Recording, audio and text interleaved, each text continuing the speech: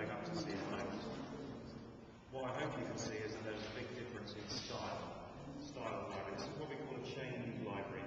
And instead of having the bookcases that we're all used to imagining in a library, you have these things called lecterns or desks, which stand alone, and books are chained onto them. So we call it a chain library, and it has a very poor capacity for holding books. The library of today has room, has space for approximately 10 times more books than the original library.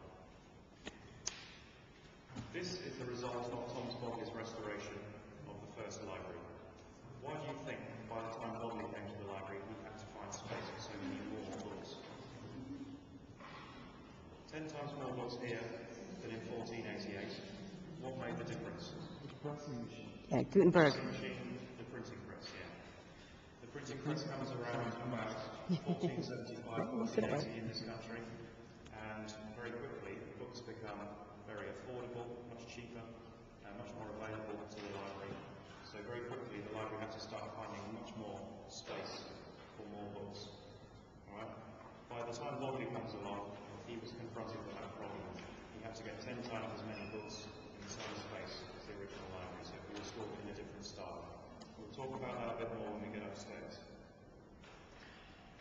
Think happened to the original library, which opened in 1488, which made necessary Thomas Bodley's restoration? Fire. Yeah. Pretty much the worst thing you can think of to happen to a library, right? Fire. Okay, my next question. Was it a fire inside the library, or was it an ac- accidental fire? Was it a malicious fire? Did they do it on purpose? What was this fire, do you think?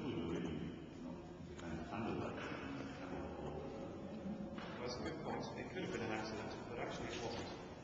It was on purpose. It was outside the library. They had a big bonfire, and they just burnt all the contents of the library. They burnt all the books. And what might uh, inspire somebody to do that? In- What always causes these kind of things, even today, religion, exactly.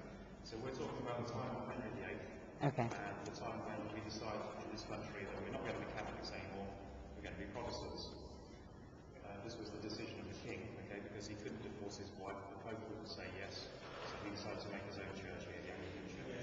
At that time, most of the collection upstairs was uh, books which were concerned with religion, you know, theological texts, and also, because of the time when they were written, they were of a Catholic nature.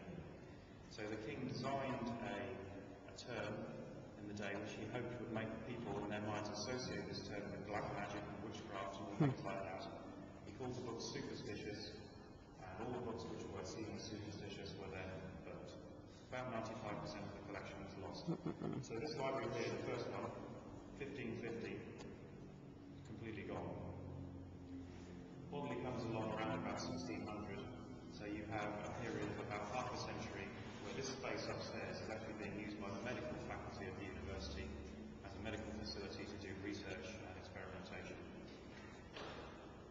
1598, Bodley writes to the university chancellor and he says, Can I, with my own money, restore the library? Of course, the chancellor says yes. Bodley goes ahead and it takes four years on that initial restoration, reopening the library in 1602. Any questions about the Divinity School or the start of the history before we go up to see what Bodley left us?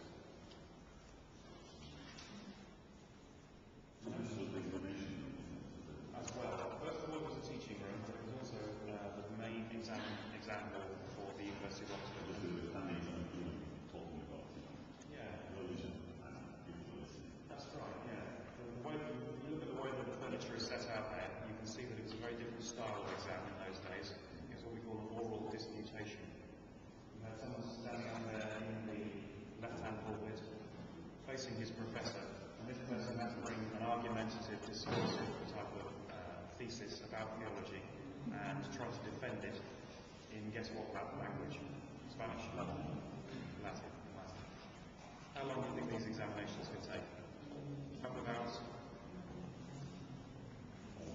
About three days.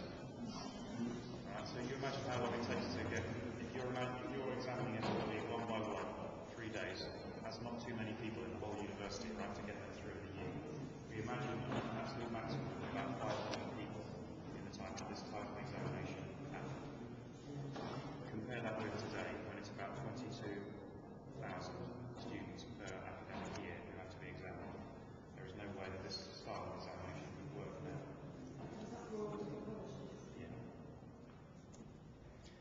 Matter who you are or what you're being examined for, originally you would have been examined here, and today you are examined in the new exam school, which is over in this direction on the other side of the high street, a place called Merton Street. You know where the Eastgate Hotel is, it's right opposite.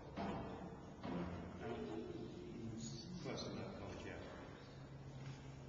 Yeah, and it's just the same here now as everywhere else in the country. You sit down at a desk, you turn over your piece of paper, and you write for about three hours. That's it's not. no. Although there is still a, a part fact of this type of exam in the PhD, in a, in a doctorate examination, there's a thing called a viva, where you still have to defend your thesis orally. The other thing about today and yesteryear is that Oxford examinations are still called public examinations. The reason for that is these benches that you're sitting on now, which come from the 1670s, when the uh, when the general public and the peers, the colleagues of the student who was being examined were allowed to come in here and disagree with what he was saying, they were allowed to